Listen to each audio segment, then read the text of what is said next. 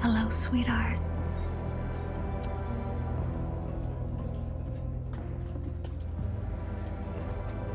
Well, aren't you going to be a gentleman and invite me to have a seat?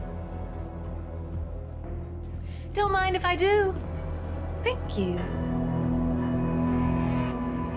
You weren't even going to say hello, Marty. Forgive me, I didn't see you, Blair. Oh, you saw me, all right. Trish, excuse me, could I please get... Another, and I will have what I was having over there before, please. Okay?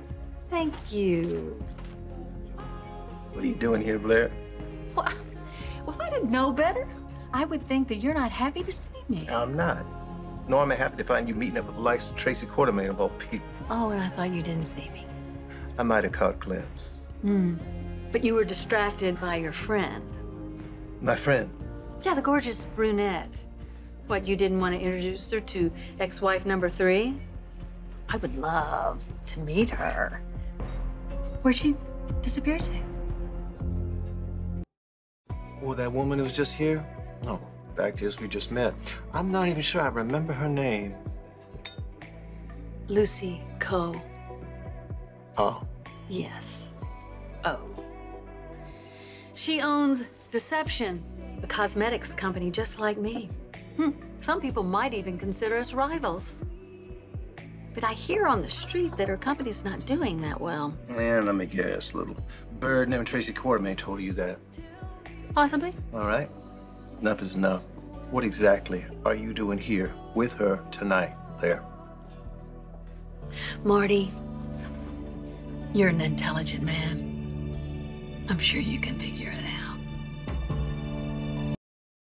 You gave Tracy the rights and copyright on your attempts to develop a beauty wand, didn't you?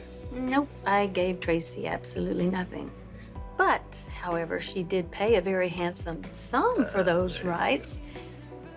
You're a lawyer, Marty.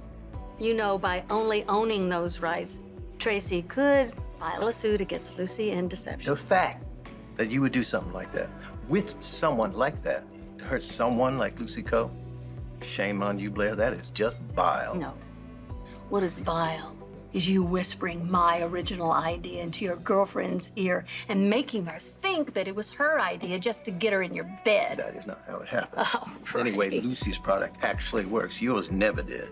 She never would have got it off the ground if it hadn't been an idea that you stole from me. Well, you know what, buddy?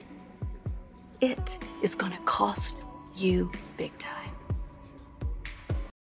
What do you mean it's gonna cost me? Lucy's the one being sued by Tracy Quartermaine. Yeah, and I'm the one paying you $50,000 a month in alimony. Well, if you didn't want to pay, maybe you shouldn't have spent so much time jumping in and out of the sack with David Vickers.